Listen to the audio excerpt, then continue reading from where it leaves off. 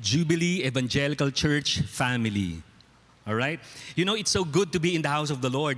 Are you glad you're here today? You know, last night, grabe ang lakas ng ulan, no? And we were just, you know, enjoying the cool weather, no? Maybe coffee, coffee. But you know what? A lot of our members in our HAP outreach ministry are suffering from flood. And I'd like to thank Jubilee for partnering with us in this ministry, no? I know I have presented this ministry to a lot of churches, but it is only Jubilee who embraced that partnership. So again, I thank you very much for partnering with us. Thank you.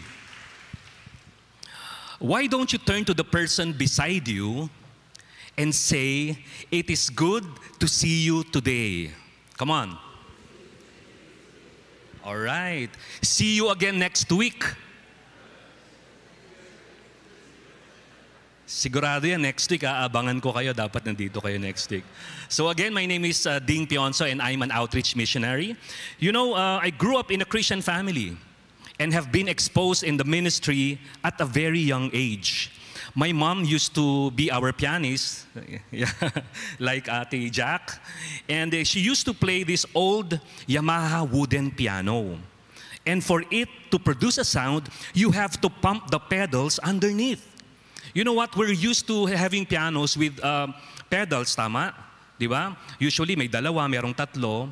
Pero the, the pedals are used to sustain the sound.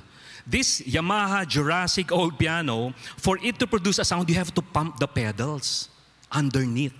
Diba? And since my mom, she had a polio in one of her legs, my brother and I took turns in pedaling so that the piano would work well. You know, one funny but very memorable experience, we were asked to, to sing a special number, and while singing, we had to pump the pedals at the same time. If you can imagine that, nakakahingal, kumakanta ka, tapos nagpipidal ka, hindi yun madali. Funny it may seem, but that's how it should go. You know, it is indeed a family joint effort to be able to serve the Lord. My father naman used to be the presider, the worship leader, just like Elder Devin, and he does, sometimes he does offertory. And I can still remember he reads to us a verse in Malachi, and even up to now, whenever we do tithes and offerings, we quote this Bible verse over and over again. And whenever we, we read Malachi, we speak of giving. Today, we will focus on the life of Malachi. The book of Malachi, according to the Blue Letter Bible, is the final word of God in the Old Testament period. It is God's final message before the coming of Jesus Christ. Who Malachi was, where he came from, we do not know much. Some believe that the, the name Malachi is just an assumed name, not the real name of the writer, but there's no real evidence to back that up, that belief.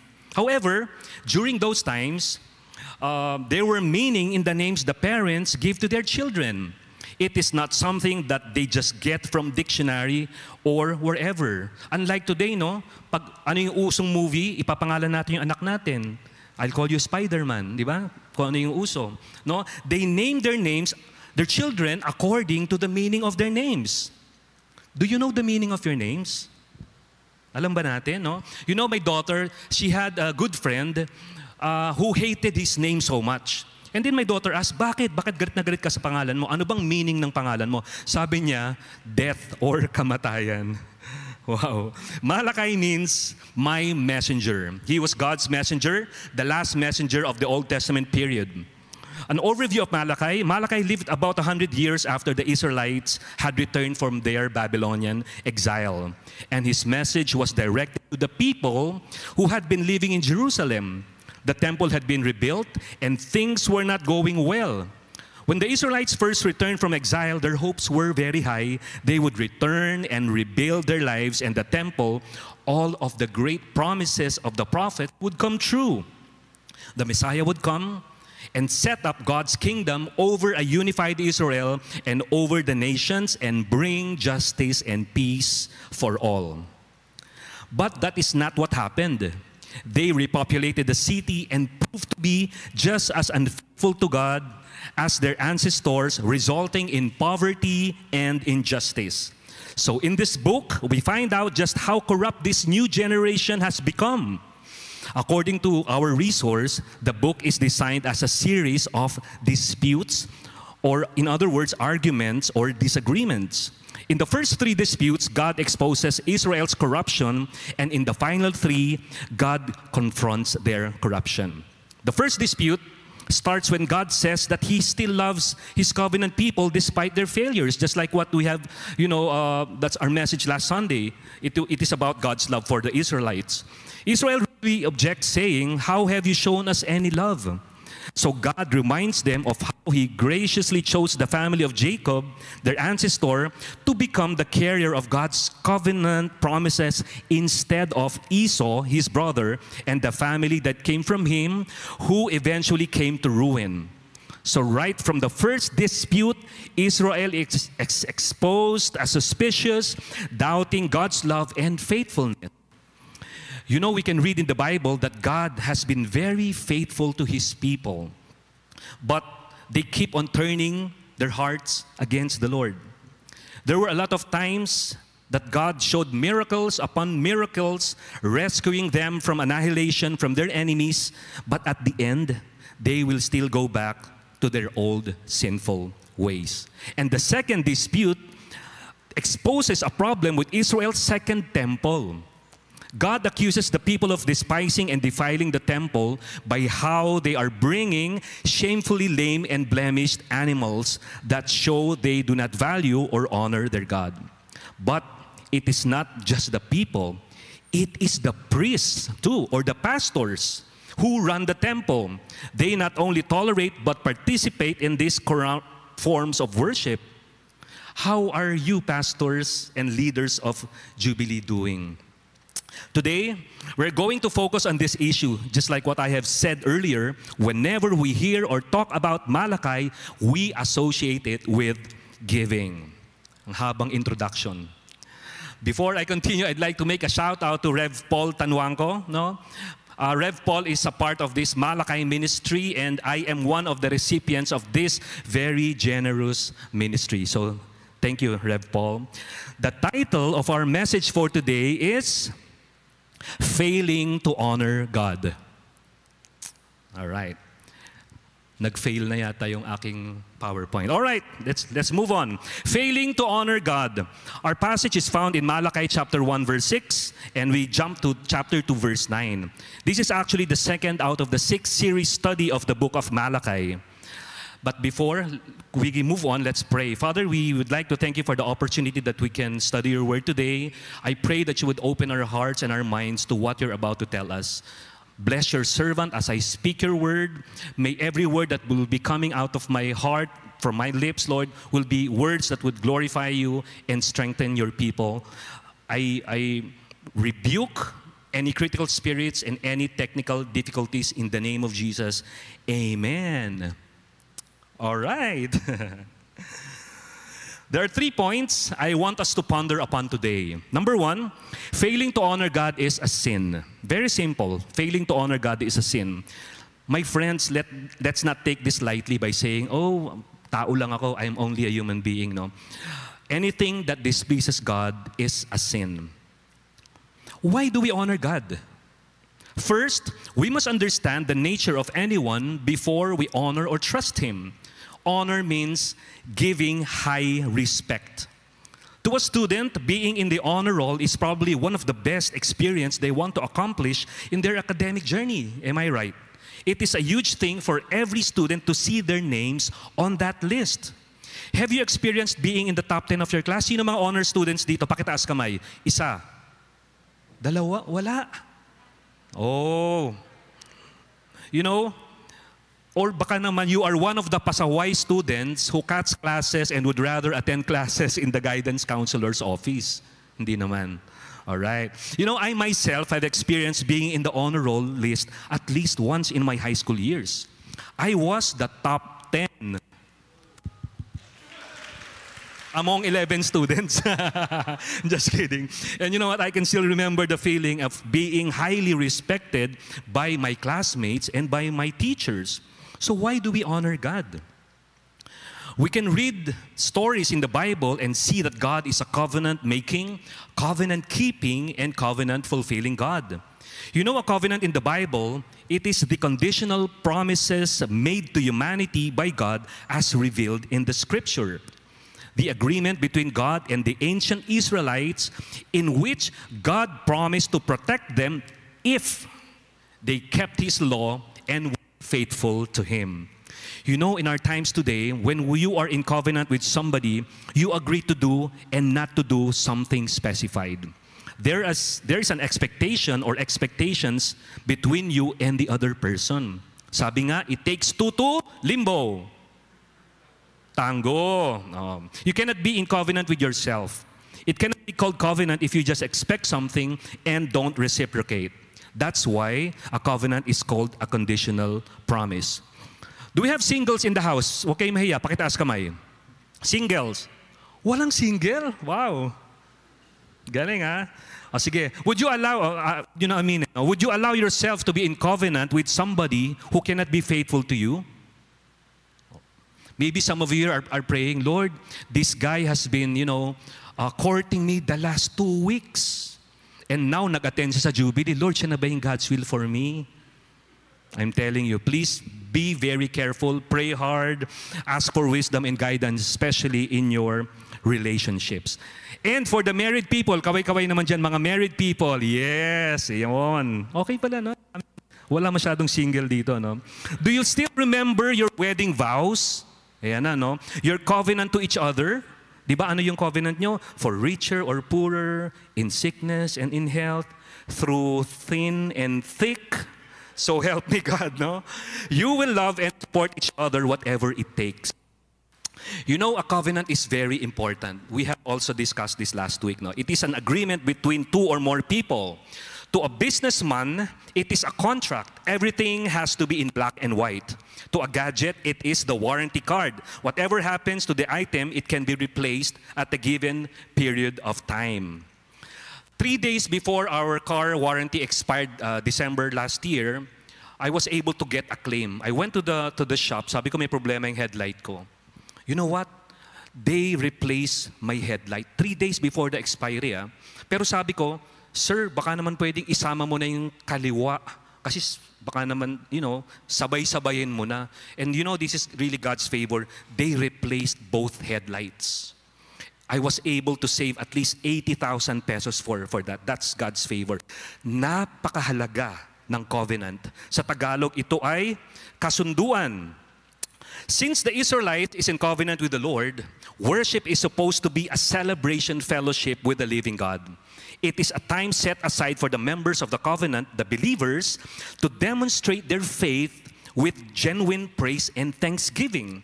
And God arranged the worship of Israel in a way that praise and thanksgiving would be most natural for the people.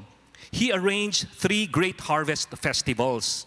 Number one, barley in the spring, wheat in the summer, and summer fruits in the fall. Because the harvest was a gift from God, the people were by duty bound to bring tokens of thanksgiving to offer to God at the feast of Passover, Pentecost, and Tabernacles. That's how they do offertory during those times. What if we do that today? If you can imagine, no? may mga prutas dito, may mga saging dito sa kabila. When the Israelites came up to Jerusalem to worship, they were to bring animals from their flocks, wheat and fruit from their fields, and whatever other gifts of gratitude they wanted to give to God. We can clearly say that worship here is giving food to the Lord. Although God did not need them, you know, God doesn't need food to survive, just like what Psalm 50, 10 to 12 says, For every beast of the forest is mine, the cattle on the thousand hills, I know all the birds of the hills, and all that moves in the field is mine. And in verse 12, if I were hungry, I wouldn't tell you, for the world and its fullness are mine. So everything belongs to the Lord, and He needs nothing. In their covenant, Israel was to bring the offerings to God, not because God needed them, but as an expression of Israelites' need of God. They knew that without Him, they cannot survive. Because to refuse to offer gifts to God was to say that God was not necessary to their successes, and we all know that God was with them in all their journey. The people came to worship, God did not require a great deal of them in a way of offerings. But what they brought had to pass two very important th- tests or things. They had to be the first and the best. It had to be the firstborn animal or the first fruit of the crops. God gets his share first because he is the most important, and it had to be the best firstborn or first fruit offering. To bring God an inferior gift would say that not, one did not think much of God. Listen to this. For the quality of the gift indicates the value the giver places on the one receiving the gifts. How much effort or money do you spend when buying a very special person a gift? Or we would say, mayaman naman siya. Kompleto na yan sa gamit. Hindi niya na kailangan ng gift. Again, God did need anything, but rather it is the expression of worship of the Israelites need. But unfortunately, the people are always falling short of pure worship. And so the prophets came on the scene in Israel to rebuke and correct the people.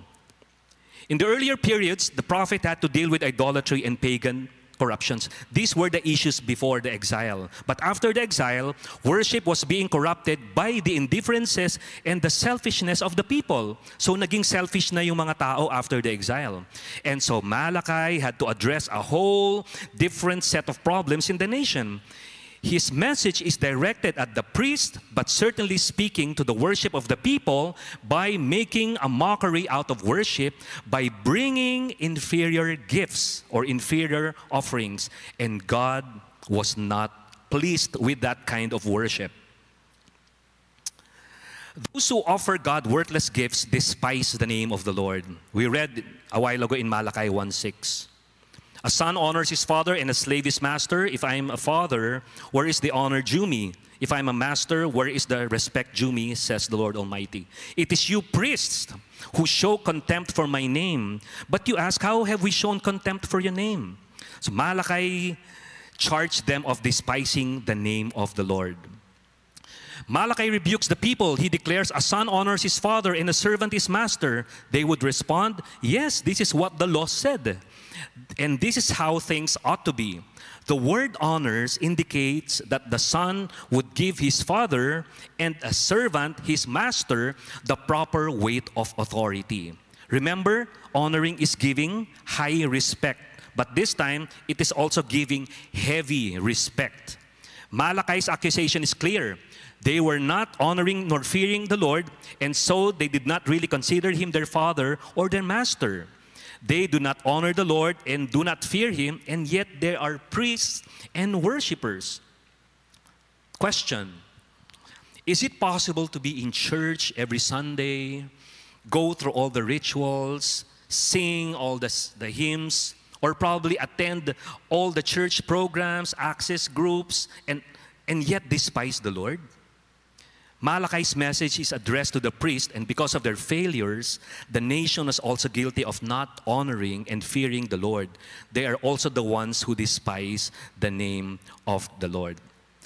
The word despise means to look down on something as if it is worthless. Despise in Tagalog is hamakin or maliitin or matahin. Have you experienced being looked down at? Na-experience mo ba yung minatamata ka? Di ba? Napaka, napaka sakit na, na state yon and sometimes it can be traumatic. The Lord says that the priests are despisers of my name. In the Old Testament, the name refers to the Lord Himself, His person and His works. The priests thought they were doing everything right, saying the prayers and the blessings and making all the right sacrifices. It's like the Pharisees during uh, Pharisees during Jesus' time. They knew the law, and everything about the law, and yet they despise Jesus Christ and not practice what they preach. Since the priests thought they were doing everything right, they would respond to Malachi's accusation by saying, Wherein have we despised God's name? Wala kaming problema. This is actually a very serious charge, and Malachi had to explain the charge. The Lord told Malachi that they were offering on the altar defiled food. Defile in the Bible means to make unclean or impure. Defile in Tagalog is dungisan. You know, I just thought of the triage or sanitation procedure we- all undergo this pandemic season where we need to wipe our shoes on the floor mat, ano pa, put alcohol on our hands, and even check our temperature before we can enter any establishments. Not to mention the face mask, face sheet with all the quarantine passes, di ba? We do all these things so we don't bring viruses or any germs or bacteria and contaminate the establishment. Am I right? And if you don't comply, you cannot go inside. Remember, during those times, the altar, like this, no, was the place of sacrifice. It is a very sacred place to offer food to the Lord. And what they offered did not measure up to the standard because the food they offered was again defiled or polluted.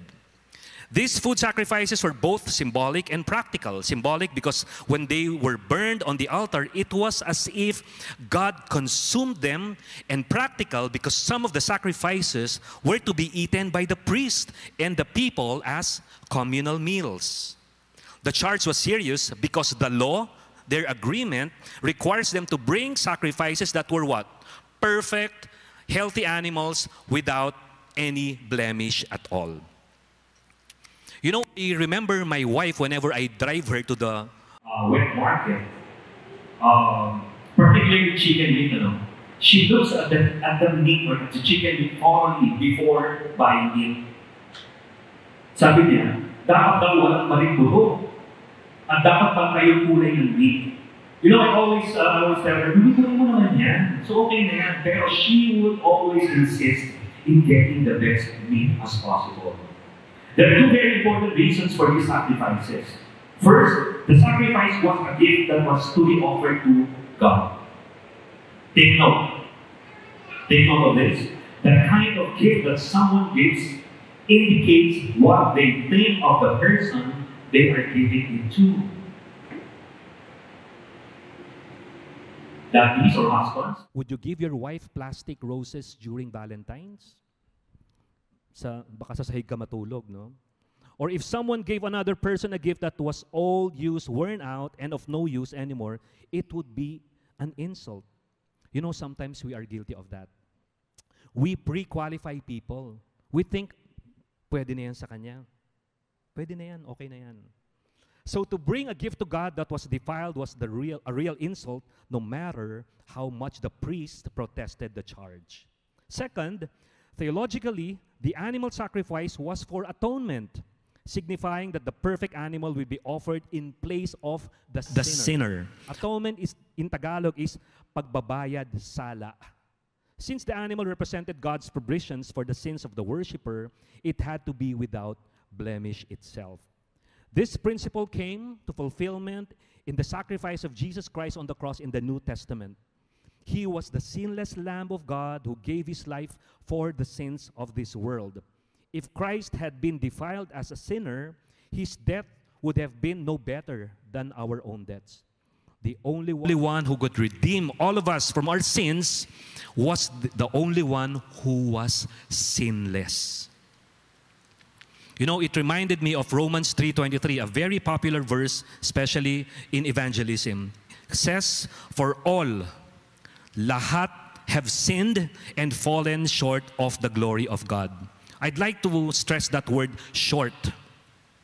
You know, in basketball, nabanggit kanina ni uh, Reviam, in basketball, you may have the best shooting form, like Elder Chris Beltran, with jersey number 10. But if it's short or kapos, baliwala lang din yun. That sin separated us from God, and whatever we do, how much we give, will not reach His glory because God is holy and we are sinners. So to bring defiled offerings was serious. They were not just bringing defiled offerings, they were defiling God. If the sanctuary were holy, if the altar was holy, if the sacrifices were to be holy, then to bring in defiled gifts would be to defile everything about worship. How exactly did they despise the altar and offer defiled things? In Malachi 1 8, when you offer the blind for a sacrifice, is not that evil? And when you offer the lame and the sick, is that not evil? You know, the people knew they had to bring animal sacrifices to the sanctuary for their worship. An animal for sin offering or atonement, another animal for the burnt offering, and a third animal for peace offering. Three animals to be offered from a family every time they came to the sanctuary could be very expensive. Tama? And so they brought the animals that were deceased, crippled, blind, and worthless animals they could not sell or use, but they could offer to God. After all, God was, on, was only going to burn them up anyway, just like my argument with my wife whenever she buys meat. That was very practical for them to do. So they thought fulfill the ritual and get rid of the crummy or poor livestock at the same time. That's why Malachi challenges them, offer them to your governor, and see if he will be pleased with you or respect you. God is more important than the governor. So why do people think they can get away with giving him inferior gifts? The people in Malachi's days are not the only one guilty of this. You know, a pastor shared when he was growing up, people used to collect things for the missionaries or disaster relief. And they often found that people had given junk things, junk or things that they could not use anymore. Sometimes we are like that too. Where is the sacrificial giving? There are times when we give to the Lord in worship, it is often what is left over our resources. The standard in worship from the beginning is that God gets the first and the best. The firstborn animal, the first fruit from the trees, and whatever is given to God has to be perfect and it has to be the best. I remember hearing a story from our pastor. He is sharing his conversation with a couple who had three children. Uh, they were talking about uh, future plans for the kids and of the kids. No, the wife said, you know, Pastor, our eldest son is very intelligent, like my husband. He is pursuing engineering course. Oh. And the second one is as bright as my wife, the husband recalls. She can go to medical school like her mom.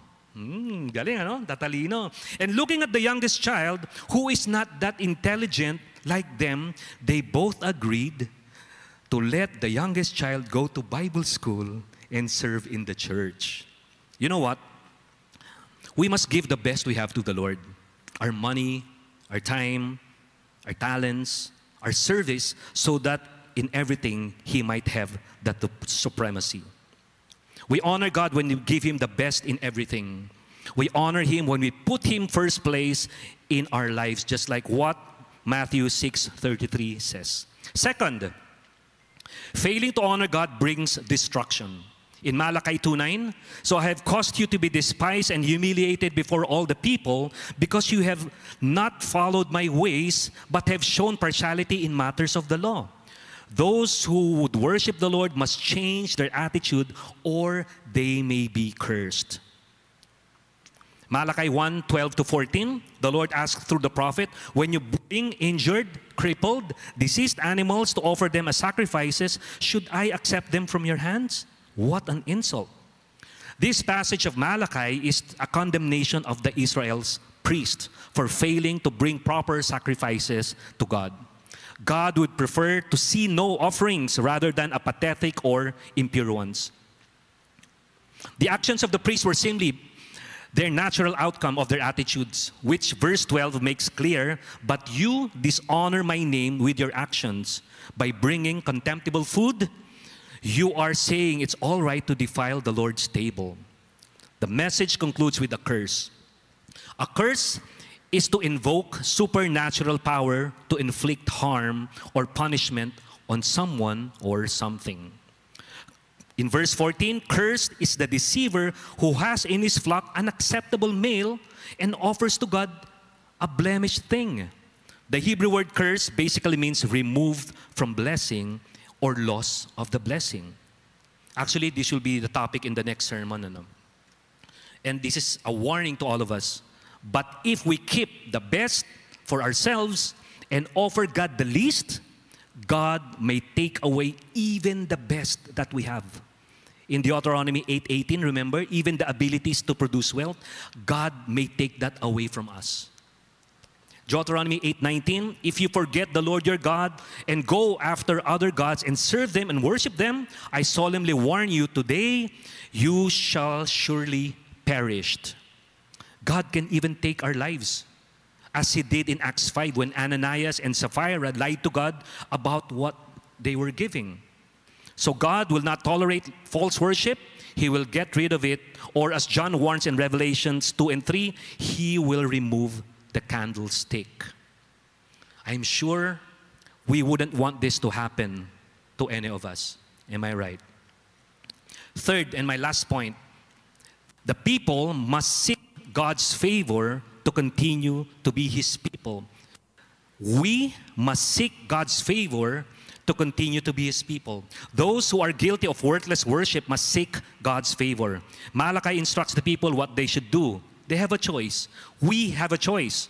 If we feel that we have violated the holy things, then all we can do is number one, we can pray to the Lord for forgiveness. Malachi 1:9, and now entreat the face of God that he may be gracious to us. With such a gift from your hand, he will show favor to any of you, says the Lord of hosts.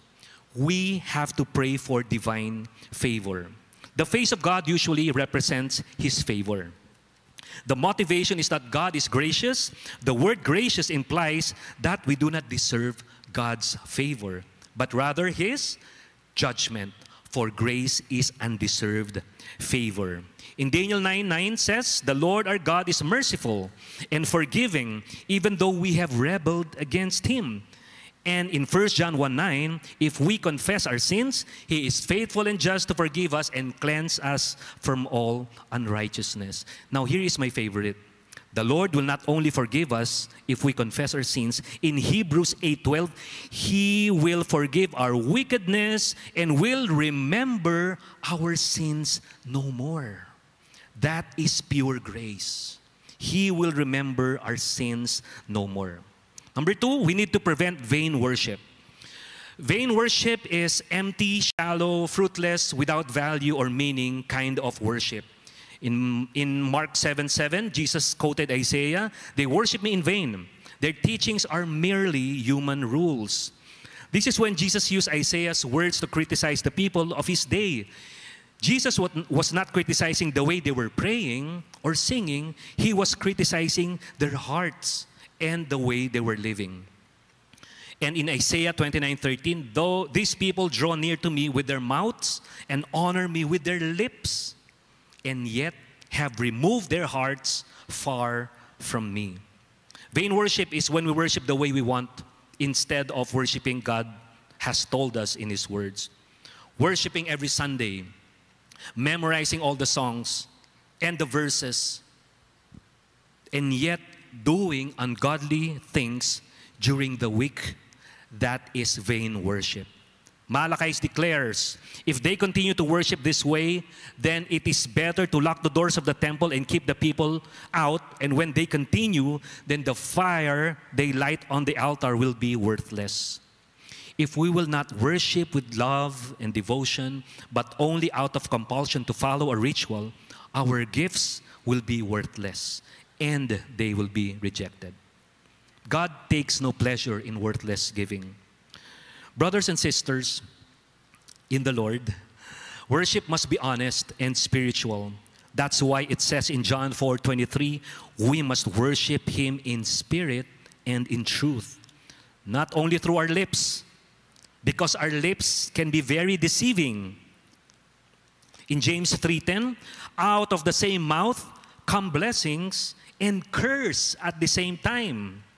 We must put our heart into it and offer to God the best that we have and the best that we can do. It's never too late to confess and repent from these things that displeases the Lord. God is gracious and will forgive us and cleanse us from all unrighteousness. God is a covenant making, covenant keeping, and covenant fulfilling God. He is always true to His promises. He will never change. He is the same God yesterday, today, and tomorrow. If we, we will just worship Him truthfully by giving our first and our best, then we will see and experience the fullness of His covenant blessings to us. There are two groups of people one who gives out of abundance. They say it's easy to give when you have something to give, but do you give in proportion of the blessings or out of obligations? Number two, the other group, the one who gives out of poverty.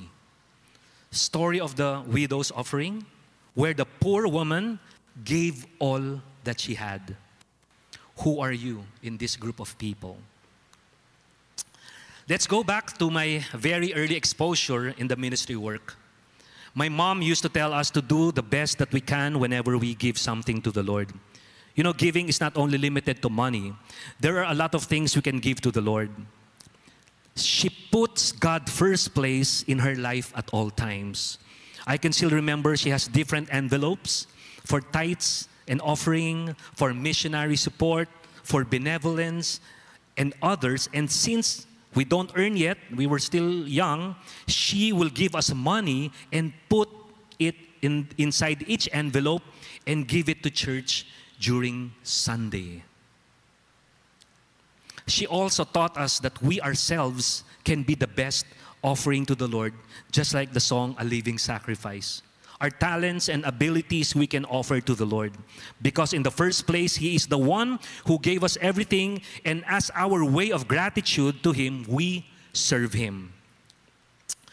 You know, the moment we received Jesus Christ, we were no longer called sinners, but rather saints or children of God. That's why when we offer to Him anything, our offerings can now reach God's glory through Jesus Christ. Hindi na siya short or kapos. And later on, as we grew older, she explains what tithing is all about. Years later, I became a professional singer and eventually became a missionary in 2014. I brought that principle with me and apply it whenever I do something, especially for the work of the Lord. My mom died Christmas Day of 2012. Hindi niya na nakita yung ministry life ko. But I thank God I was able to talk to her face to face. I had an emergency leave. I was able to come home the day before she died and brag about my accomplishments. You know, my success is a product of her examples, her never ending, unwavering faith and prayer to the Lord. You know, sometimes ministry work can be very frustrating. Am I right? Especially in our outreach ministry. Napakahirap. A lot of times, you have provided everything and hindi sila mag attend dahil tinatamad sila. Or they will ask for counsel. Okay, lahat na ng counsel pwede mo ibigay, lahat na ng memory verse. Pero they will still they will still do what they want to do. But you know what? The Lord reminded me to just serve him with, with my best ability, and He will make everything beautiful. The same encouragement I share to all the volunteers to give all, all the best that they can impartation, knowledge, rebuke, love, understanding, because you don't know if you can still come back and teach them the second time around. Huwag magtipid. Lahat ng pwedeng maituro at that given time, ituro natin sa ating mga kabataan. My friends, how is your giving and your service to the Lord? Let's not be mediocre when we give to the Lord. He deserves our best offering. Giving to the Lord is a great opportunity, and through giving, that includes our money, our talents, and abilities, we worship the Lord. A very familiar phrase we grew up that says, You can give without loving, but you cannot love without giving. Parang tatlo lang kaming nakakaalala nun. Oo. I want to rephrase that today. You can give without praise and worship, but you cannot praise and worship without giving. Praise and worship goes together. We praise the Lord for all He has done, and we worship Him through giving as our response to His goodness my last verse for today in Psalm 22:3, the Lord in, inhabits in the praises of his people. The word inhabits means to stay. He draws nearer to us when we praise and worship him. God is present and glorified when we worship him. He enjoys it and it brings peace and rest. Remember, God is a covenant making, covenant keeping, and covenant fulfilling God. He is faithful and He will fulfill His covenant to us. How about you? How is your covenant with the Lord? Do you honor God with your covenant? Again, good morning, and may the Lord bless us. Can we give the God the best of our clap offerings? Shall we all rise as we pray?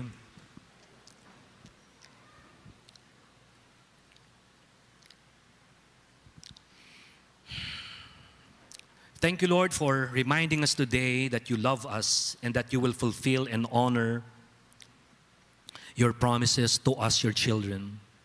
We humble ourselves before you and offer our lives as living sacrifice, holy and acceptable to you. Empower us with your Holy Spirit so that we will be able to fulfill our commitment to you through our giving. Enable us to fully surrender our lives into your care. For we ask this in Jesus' name. Amen. And now, unto him that is able to keep you from falling and to present you faultless before the presence of his glory with exceeding joy. To the only wise God, our Savior, be glory and majesty, dominion and power, both now and ever. Amen and amen. you may now be seated.